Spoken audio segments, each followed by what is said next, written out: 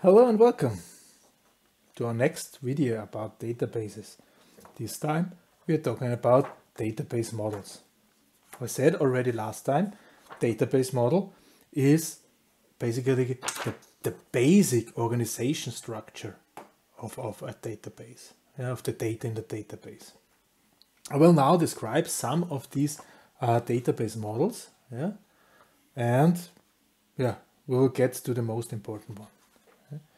The first one, the first one was hierarchical, hierarchical, hierarchical, the hierarchical database model. Yeah. Hierarchical model. How is this working? There was one root, uh, one element, which was called root. Under each element, there might be one or even more other elements. Yeah? So every element except root has exactly one parent element yeah? and might have several child elements. And if I want to search my data, I will always have to start in root and find my way through. So the searching was very efficient. Yeah? So this looks a little bit like, this was also called data tree. Yeah? This is looks a little bit like a file system. Yeah? Some databases allowed only two kids by, by parent, but most of them allow more. But each child element has exactly one parent element. And this is, this is the base property of such hierarchical model. Okay, so one one thing which used this hierarchical model was this IMS IMSDB from IBM. This was this hierarchical model. This was one of the first database systems ever there are no relationships between childs and the grandparents, let's call them grandparents. Yeah? There is no relationship possible.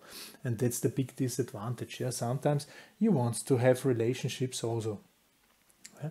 This then was modified and the outcome was a so-called network database model. Yeah? Network model.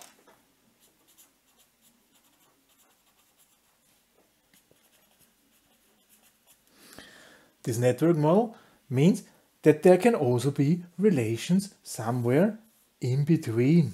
Yeah, does not really matter how many parents in which in which uh, hierarchical order they are. It can be just somehow yeah, connected. This means I can really model quite a lot of data inside here inside the structure. However, the efficiency might lose. This is also no longer called root here. Yeah? This is no longer called root. This is just some element. Yeah? So there is no clear point for starting a search. Yeah? Just the search might be different or difficult this way. Yeah? However, it can be very complex. So one, one thing was this UDS from Siemens for instance. Yeah. This was one network or is one network uh, database model. Okay. Hierarchical model, network database model. The network model was somehow development of the hierarchical model. Okay. Then, you know, uh, in, in programming, there was this object-oriented programming, or there is this object-oriented programming. Since decades, this object-oriented programming is gaining more and more usage. Yeah? So there was a small step to object-oriented database model. Yeah? Object-oriented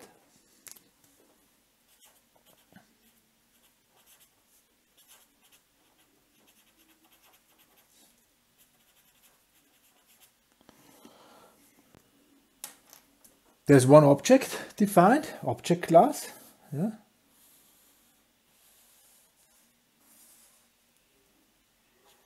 So-called class, yeah, object class. And this object class has several properties.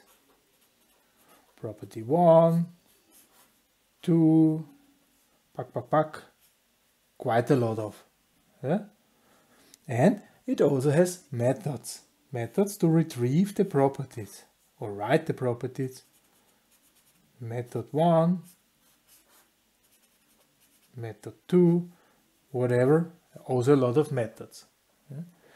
And now what is stored inside this object-oriented model is an object of this class. Object of class. And every object of class has these properties and these methods. Yeah. So there's maybe one, there's maybe second one, there's a third one, whatever. Yeah. Maybe a different class than an object of class 2 and so on. Yeah. This was object or is object oriented model. There is also an object uh, object relational database, yeah, object oriented, and there is also object relational model. Yeah. It's pretty much the same. However, between two objects can be some sort of relation. So object-oriented database. Then there are such things like document-oriented databases. Yeah. Document-oriented.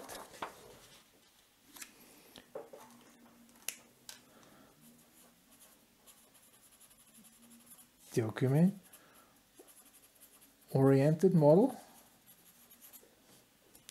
What is this? The data is stored in so-called documents. There's maybe a document 1, there's a document 2, and so on, document 3. What is inside a document is not really specified. Yeah? So this makes it very powerful. It doesn't really care if this is really a document or if this is a picture or whatever. Yeah? So the document is not specified. Yeah?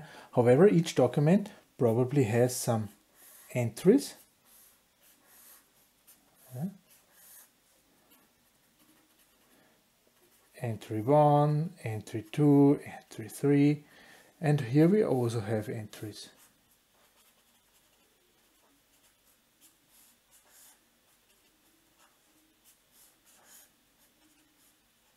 Yeah? So it's like a Word file, like a document. Yeah? What is not possible in this document-oriented thing is that there are relations between the documents. So that we say, okay, this entry 2 here is exactly the same like this entry 1. This is not possible. So if I change this entry 1 in document 1, yeah, this entry 2, even if it should be the same like this, will stay the same. Yeah. This makes it very difficult to find a consistency. Yeah, there this document-oriented thing has a problem. Yeah, the name of the document is the identification identificator, and this is exactly describing one document, and I can change some entries in this one document, but not automatically somehow change the other document with it. Document-oriented model. Some of you might have heard it. There is HCL Notes is such.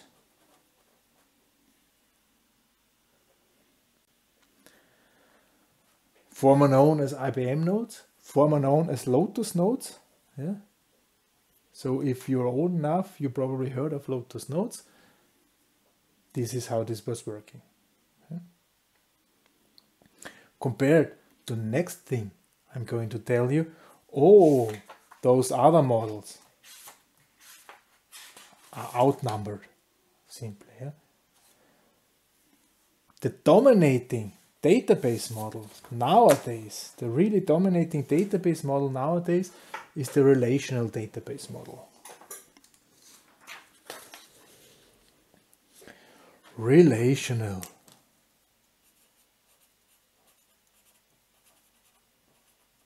Database model.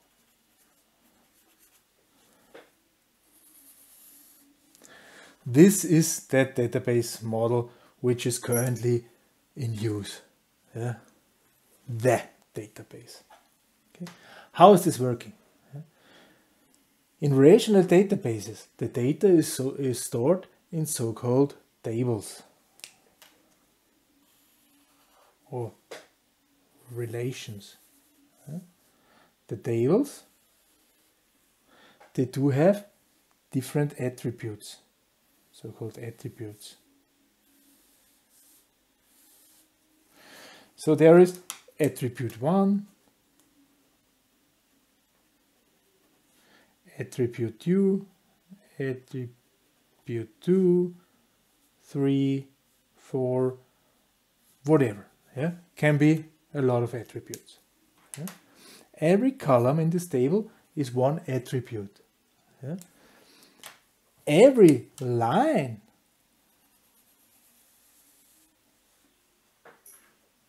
every line is one data set, one set of data. Yeah? So called, this is a data set, record, or tuple, is line. Column is attribute, and all attributes which belong together is one data set. Yeah? And the table has a table name. or relation name. So there is a table which has a name. Each table has different attributes. The attributes also have name and type. So there is a, date, a name for this attribute and a type for this attribute. For instance, I don't know, the name is given name and the type is characters, 20 characters. Okay? This is how such relational database bases are stored. Why they are called relational? Because there can be several tables yeah, with a lot of attributes and they can one attribute for instance yeah let's think of uh, pupil, pupil database. So this is name, given name, birth date, uh, number, uh, school, school number, and so on, class, blah, blah, blah, blah, blah. Okay. Now, now there is also a table which uh, is, is not called a pupil name, it's called a topic name. Yeah, there are several topics: mechanics, automation technology, uh, I don't know, German, English, pa, pa, mathematics, the topics which are given in school. Yeah, and there might be a third table. Yeah, which is combining. It says, okay, this pupil is visiting this topic. Okay, this pupil is visiting this class, and so on and so on and so on. So there are relations between tables and other tables possible. One attribute can point to another table. Say, look there, it's this. Then it's written here just person, and in the person table is written uh, given name, birthday, blah blah blah blah blah blah blah. Yeah? There can be relations. To have a relation, yeah, it is important to identify such one record, one dataset, one tuple with one key. Yeah? There must be one key inside. Yeah? A key is something which identifies exactly one line in a table. Yeah? Key is unique in table. So there is one attribute, at least one attribute, I have to select as key value and this one attribute has to be different in each line. This is why it's probably a bad idea to use the name as, as key element. Because then there would only be one Huber, Huber and one Meyer and one Smith. Not possible. There are a lot of Huber, Meyer and Smiths. This is why this key is often something a little bit artificial, just a number which is growing. Yeah? Pupil number person number, personal number, for instance, or whatever. Yeah? But this key is necessary to be able to reference. This is the relational dataship database model. Yeah? And this is the model. It, it doesn't sound too complicated right now, right? But we will see in, during our, our, our exercises yeah, we need to pay attention. Yeah? Because we really have to think about which data must be inside the database, which data must be inside one table, yeah? and which data must be a reference in this table. So this is called data modeling. And this data modeling is of great importance at relational databases. Okay? We will we will get to this. I said most most uh, spreaded database model. So there are quite some uh, databases out there which are commercially, yeah? for instance Oracle. Oracle database, this is since 1979. This is the oldest data relational database ever. Yeah. Then there's the, of course the Microsoft, Microsoft SQL Server. Yeah from Microsoft, and there is DB2, DB2 from IBM. Yeah. These are the biggest commercially used ones. Yeah. Microsoft has a second commercially, this is Access. However, this is mainly used in small business and home applications and so on because it's part of Office. At big databases, it's the SQL Server. And there are a bunch of, of open source products. Yeah? For instance, MySQL. This is, meanwhile, it's owned by Oracle. And there is Maria DB. That's the most common ones. Yeah? MariaDB is a so-called fork of MySQL. When MySQL was bought by Oracle, the former producers or the former heads of MySQL made a branch, a fork, uh, and this is the youngest one. This is since 2009. MySQL was in 1995, first time. Oracle SQL Server, 1989. DB2, 1993. Oracle, 1979. Okay. Access 1992 was the first. I think 1992 was the first version of Access. So this is this is so the products. We are going to use MariaDB. Why we are going to use MariaDB? Because it's, it's in the repository of our, our Raspberry Pi. We just have to install it. Maybe one hint, this MariaDB running on a Raspberry Pi just with this SD card, this is not a lucky combination. For us, in testing reasons, that's okay. But you know, this SD in databases, a lot of writing is happening, yeah? especially if we collect data automatically, yeah? like measuring the temperature and record every five seconds the temperature which is outside for whatever reason does not really matter but there are a lot of write uh, things and an SD card is not has wear in writing. Okay, so maybe it's a good idea to have this database on some on a hard drive or things which are able for more write cycles. Yeah? Well, the Raspberry Pi has USB ports, we can plug something in, but this makes this test environment a little bit more complicated. So I decided to use MariaDB standard on on, on our Raspberry because everything else will work exactly the same. It's just the storage. Yeah? So it's just the physical part which should be exchanged. One thing, these relational databases, uh, have the same, yeah. This relational database uh, management system. They usually use a thing, a, a thing which is called SQL, Structured Query Language. This is the language where I can tell my database management system, hey, please write this attribute, this value, yeah, make a new data set, blah, blah, blah, blah, blah, yeah. We will get to know this. This is what we're going to train, SQL. There are SQL interfaces. It has even in the name Oracle, I think was the first SQL database ever. Access has SQL interface, DB2 has SQL, MySQL has also a name, MariaDB is also SQL. Yeah, SQL is in relational database everywhere, and because all other databases are not that common, yeah, they are even referred to.